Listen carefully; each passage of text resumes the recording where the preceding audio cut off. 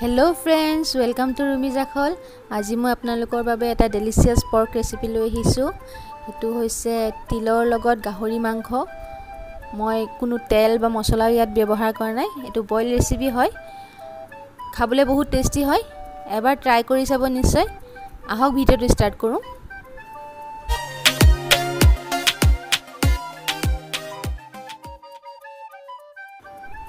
ইয়াতে মই প্ৰথমে ওৱান ফ'ৰ্থ কাপ তিল শুকানে ভাজি ল'ম। তিলখিনি ধুই ৰ'দত ধুনীয়াকৈ শুকুৱাই থোৱা আছে। এতিয়া মই একেবাৰে শুকানে তিলখিনি অলপ গোন্ধ ওলোৱালৈকে ভাজি ল'ম আৰু এইখিনি অলপ ঠাণ্ডা হোৱাৰ পাছত মিক্সিত মাৰি ইয়াৰ পাউডাৰ উলিয়াই ল'ম। আৰু এইফালে মই গাহৰিখিনি টেঙা দি পেলাই অলপ বইল কৰি লৈছোঁ।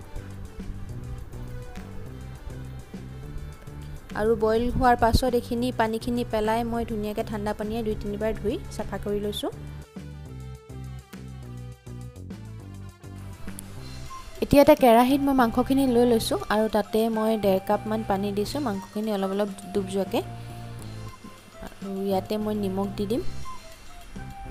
নিমখখিনি দি মাংসখিনি ঢাকন লগাই সিজিবলৈ দিম আৰু অকণ সময়। আৰু পানীখিনি যাতে শুকাই যায় সিমানটো সময়লৈকে সিজিবলৈ দিম। তেতিয়ালৈকে সিজি থাকিলে মাংসখিনিৰ পৰা তেল ওলাব অলপ।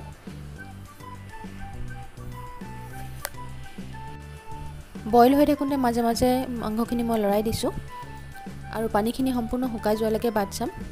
এয়া মোৰ পানীখিনি শুকাই গ'ল। শুকাই যোৱাৰ পাছত মিডিয়াম ফ্লেমতে মই মাংসখিনি অলপ শুকানে এনেকৈ ভাজি ৰাখিম যাতে অলপ ইয়াত কালাৰটো আহি যায়।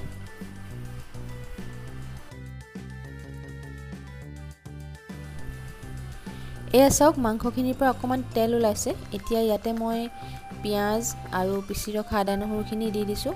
এইখিনি দি ভালদৰে ভাজি ল'ম।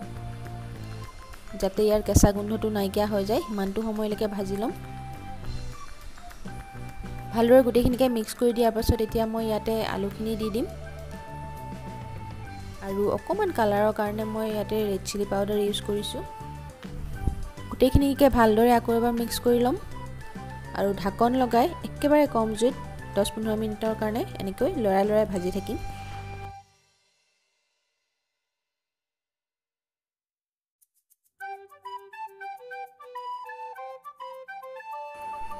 মাংসখিনি মই মাজে মাজে লৰাই দি আছিলোঁ আৰু পোন্ধৰ মিনিটমানৰ পাছত এয়া মোৰ আদা নহৰুখিনি ধুনীয়াকৈ সিজি গৈছে।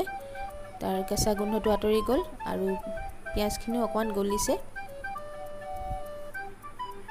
আকৌ এবাৰ ভালদৰে লৰাই দিছোঁ।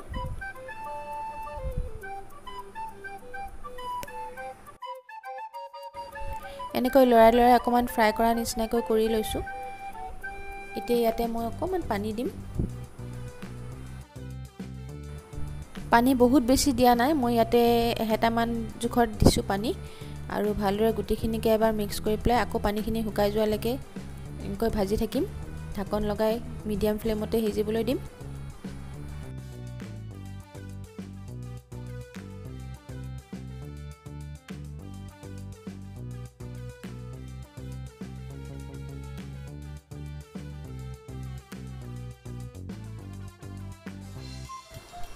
আৰু এয়া অলপ সময় পাছত মোৰ পানীখিনি শুকাই গৈছে।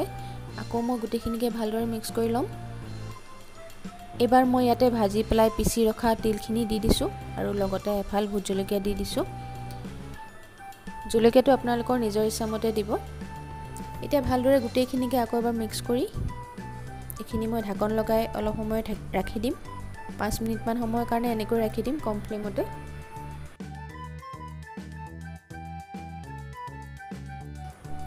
মাজে মাজে খালি লৰাই আছোঁ যাতে লাগি নাযায় কেৰাহীৰ তলত।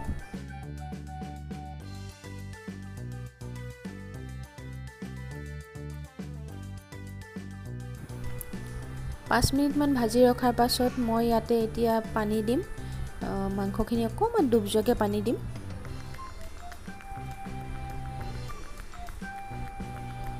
যিহেতু মোৰ আলু সিজিবলৈ আছে বাকী এতিয়াও আলু সিজাই নাই।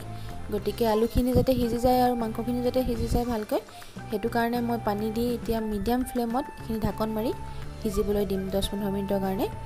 আৰু মাজে মাজে লৰাই আছোঁ।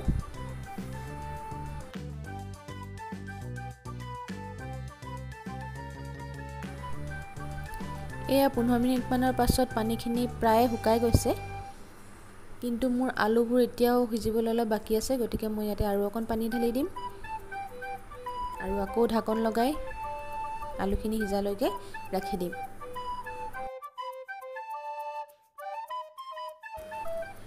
পাঁচ মিনিটমানৰ পাছত চেক কৰোঁতে এয়া মোৰ আলুবোৰ সিজি গ'ল কিন্তু মাংসখিনিত এতিয়া পানী বহুত আছে গতিকে মই জুইৰ ফ্লেমটো বঢ়াই পেলাই ঢাকনখন উঠাই এনেকৈ পানীখিনি শুকোৱালৈকে বাট চাম কাৰণ আৰু এতিয়া বেছি সিজাব নালাগে। আৰু এয়া মোৰ টেষ্টি টেষ্টি তিলৰ লগত গাহৰি মাংসৰ ৰেচিপি ৰেডি হৈ গ'ল। খাবলৈ বহুত ভাল লাগে। নিশ্চয় এবাৰ ট্ৰাই কৰিব আপোনালোকে। আৰু কেনেকুৱা পালে মোক জনাবলৈ নাপাহৰিব।